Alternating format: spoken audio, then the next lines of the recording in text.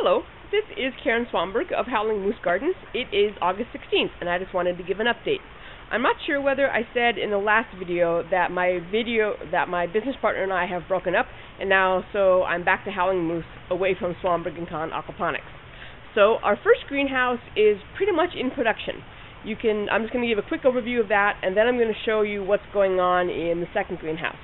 So my gravel beds are plumb full of nasturtiums nasturtiums and some watercress, a little bit of minutina down here, and then lots of various squashes. And then my rafts are full of chards and more chard and watercress and chard and lettuces and cabbages and basils. One, two, three kinds of basils, more chards, more lettuces. Things are going pretty well. Switching back to the other side, more chards, more, lots more kale. This chard is huge. This is a four foot long measuring tape, measuring stick. You can see just how big that chard is. And it's very dense. I should have started harvesting it a while back, but I didn't. And the bright or the the silver rib chard over there is just as big.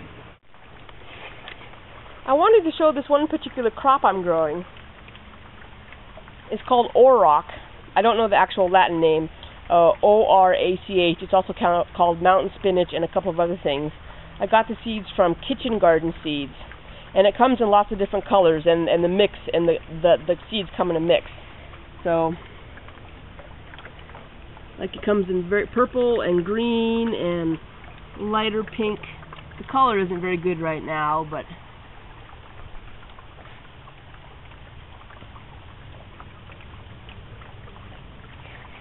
I just planted it on a lark and it came up really really well and it's so pretty and I think that it will go over well in a salad mix. I have a woodchuck who's coming in and eating all my food. So you can see on this kohlrabi, that kohlrabi was about ready to go, but then the woodchuck came in and ate every leaf off of my kohlrabi. All these leaves that are back are new. So I have a trap, a live trap. He's pretty wily and he's gotten out of it already, so I need to go buy a bigger trap. So my fish walking around here into the head house and I have perch in there. They don't come up very often. And tilapia in here.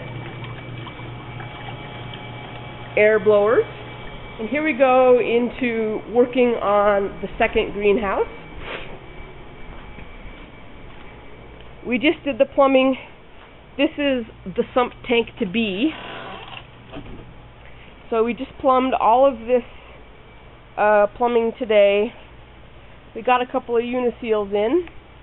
You can see that the aeration systems are almost ready to go. They just need to be uh, plumbed in with this little joiner right here. But you can see you've got the air stones and then gravel uh, bags every 10 feet or so in order to hold the air pipes down.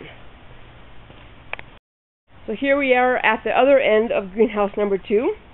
You can see how the plumbing here is coming out. Two three inch pipes that go across and back. And then back to the top of the head house again. This is where the gravel beds will be, which will be the two, uh, 150 gallon Rubbermaid tubs. They'll go here, and I'm going to uh, level out that pile of dirt. And so the gravel beds are a little bit higher than the troughs and then so the fish tanks, which will be right here, will be a little bit higher than the gravel bed. So it'll be a nice. I also have 750 or so fingerling catfish, about yay big. They're in this trough over here.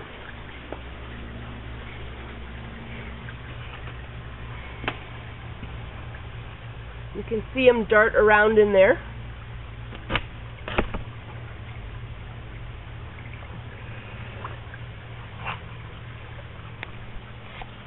They're only in the trough temporarily. I didn't have a tank ready for them when I bought them, and I had to get them at a certain time due to uh, various things.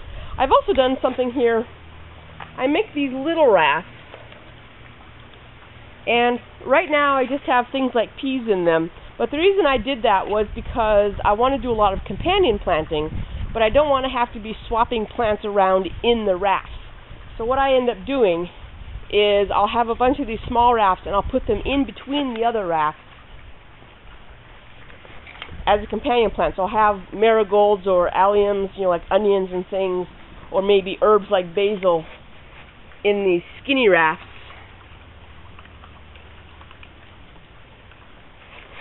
And then I can move the skinny rafts around as need be without actually disturbing the plants. We also have some seedling tables up and running. So for instance here I have Bright Lights Chard and Helvias lettuce, which is a heat tolerant lettuce, some red kale, some Adriana lettuce, some mache greens, and then some uh, Toscana or di- dinosaur kale, and room for another one. We'll do that in probably tomorrow. So one, two, three seedling tables in production. And I have a fourth one built, uh, but I'm moving it into the machine shop, that gaping hole over there. So I have some in the shade and some that I can keep warmer in the winter. Just a final sweep. Fish tanks. Second greenhouse. Soon to be gravel bed. first greenhouse.